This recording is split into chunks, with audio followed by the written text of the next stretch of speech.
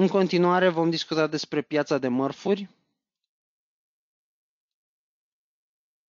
și vom începe cu petrolul. Petrolul care vedem că tinde să se uh, fi stabilizat undeva în jurul uh, nivelului um, um, undeva în jurul nivelului de la 39,5 dolari per, per baril. Această evoluție vine după ce a avut loc cea mai amplă corecție uh, daily din ultima săptămână. Toată această uh, evoluție negativă vine pe fondul unor date slabe din, uh, din uh, SUA. Uh, um, această tendință de consolidare a venit pe fondul unei perioade de slăbiciune a dolarului american, dar și Uh, pe fondul unor uh, rezultate destul de optimiste privind uh, datele din, din China. Astfel, trebuie spus faptul că um, secvența corectivă de ieri uh, a fost cauzată de noi îngrijorări referitoare la, um, la un surplus de ofertă la nivelul pieței. Uh, mai mult, um, această, acest surplus de ofertă este um, îngrijorător, mai ales dacă ținem cont de valul de noi restricții care, cu care se confruntă mare parte din, din Europa, iar acest lucru ar putea să uh, pună și mai multe, mai multe probleme. Conform uh, Agenției Internaționale a Energiei, um, după ce în acest an uh, Uh, consumul de petrol a scăzut cu uh, peste 8%, este uh, puțin probabil ca nivelurile de consum să revină la valorile prepandemice în anul 2023, având în vedere um, un context în care pandemia va, fi, va reuși să fie ținută sub control Uh, în cadrul uh, anului 2021. Prin urmare, vedem um, estimări destul de sumbre din partea Agenției Internaționale a Energiei, aspect care ar putea să pună ceva uh, semne de întrebare cu privire la um, cu privire la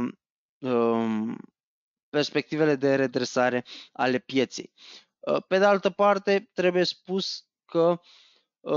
situația în SUA, uh, situația legată de, legată de petrol s-a îmbunătățit pe fondul publicării datelor uh, privind importurile și exporturile din, din China. Astfel vedem că importurile pentru luna septembrie au crescut cu 13,2%, chiar dacă nivelul uh, prognozat era cel al unei Ehm, stagnări 0,0%, în timp ce exporturile au crescut cu 9,9%, aproape ehm, respectând nivelul prognozat de 10 puncte procentuale. Mai mult, trebuie spus că importurile de ehm, petrol brut în China au crescut cu 2,1% în septembrie, Ehm, ceea ce reprezintă un aspect uh, pozitiv, mai ales dacă ținem cont de faptul că uh, în trecut importurile au fost afectate și de ehm, intrări masive de, ehm, de volume de petrol brut în China, tocmai în ideea de a profita de uh, nivelurile scăzute de preț anterioare. În continuare, este posibil ca um, prețul să-și continue această ușoară tendință descendentă, mai ales dacă ținem cont de datele fundamentale pe termen uh, mai lung, care uh, continuă să fie unele destul de, de problematice. Uh, dar, pe de altă parte, um,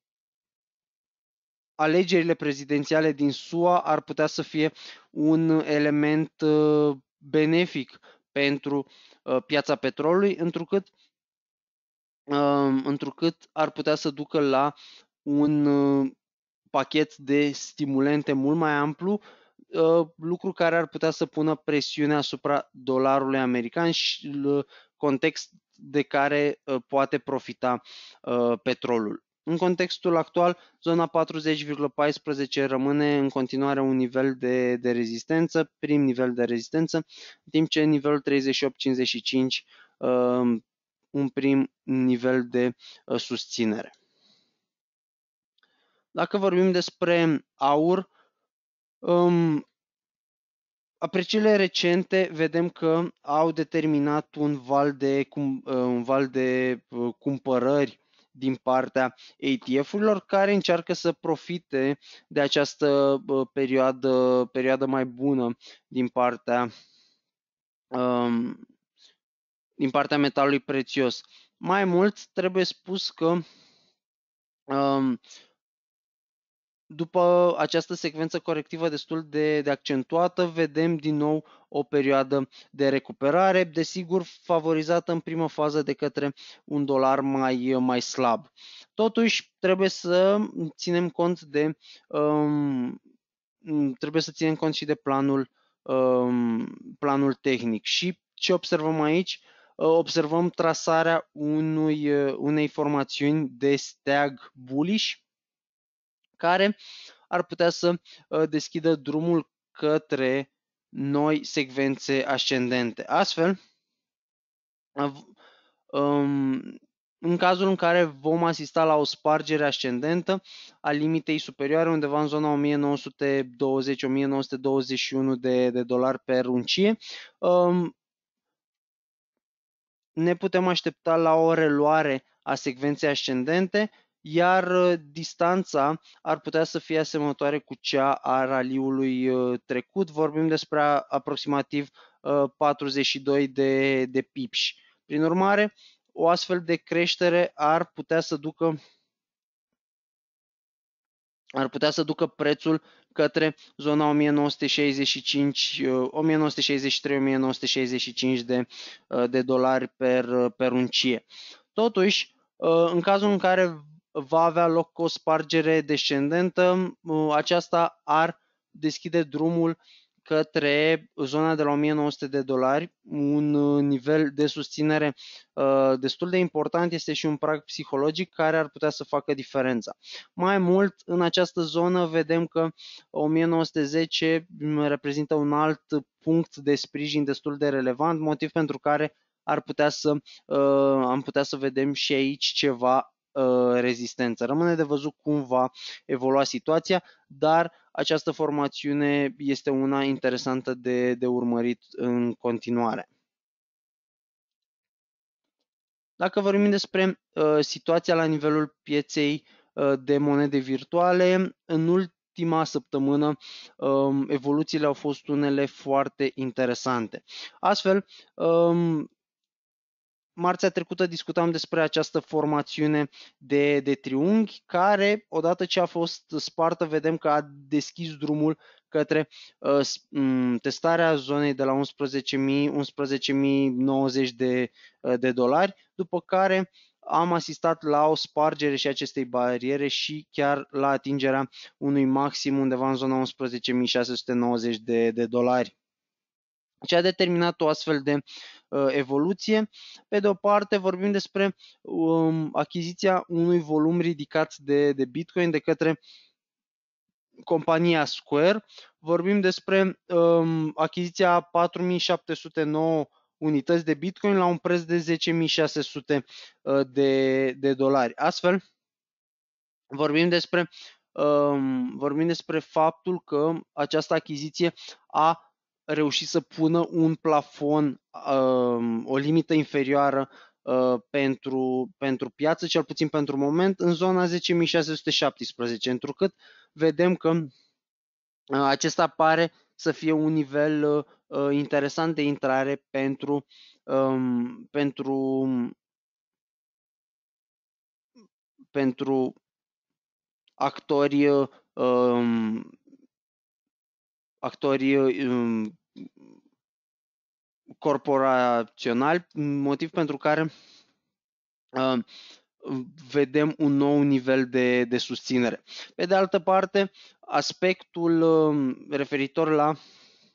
um, aspectul la nivel extins al piețelor de capital, acest nivel extins de, de optimism și de încredere a ajutat moneda, moneda digitală, care, desigur, a profitat de, de această secvență optimistă. Mai mult, trebuie spus că um, un alt aspect um, un alt aspect de luat înseamnă este cel referitor la ratele pozitive de, uh, de finanțare pe piețele uh, futures ale Bitcoin, uh, dar și aceste achiziții corporative destul de ample din ultima perioadă. Um, ce ne spun aceste rate pozitive de finanțare? Um, ne indică faptul că traderii de